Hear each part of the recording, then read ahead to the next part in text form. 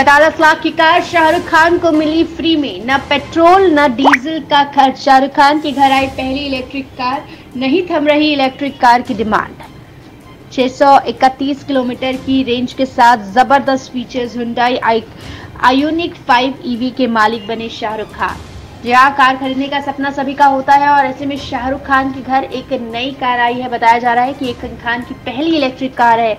शाहरुख खान ने खुद इस बात की जानकारी देते हुए electric car S U V Ioniq 5 को लेकर मैं सम्मानित महसूस कर रहा हूँ। ये मेरी पहली इलेक्ट्रिक कार है।